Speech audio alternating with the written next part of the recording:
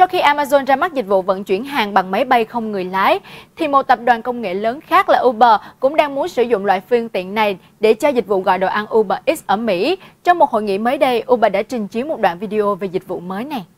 Theo đó, máy bay của Uber Eats đã nhận một đơn hàng từ một nhà hàng đồ ăn McDonald's.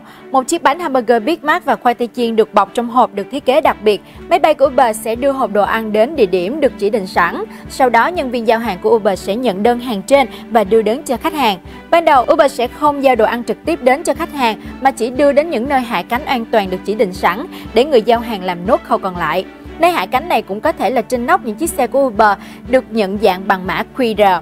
Chi phí vận chuyển dự kiến sẽ tương đương với mức thông thường mà Uber Eats đang áp dụng. Uber cho biết lợi nhuận của Uber Eats đang tăng 150% so với năm ngoái.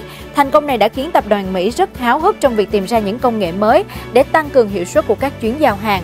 Theo tính toán của Uber, một người giao hàng bằng xe đạp hoặc xe hơi mất khoảng 21 phút để thực hiện một chuyến giao hàng trong phạm vi 1,5 dặm, tức là khoảng 2,5 km, trong khi máy bay không người lái chỉ mất khoảng 7 phút để làm điều này.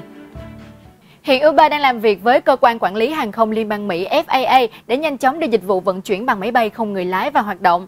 Vào năm 2018, FAA đã đưa San Diego vào danh sách 110 địa điểm tại Mỹ cho phép thử nghiệm các dịch vụ thương mại sử dụng máy bay không người lái.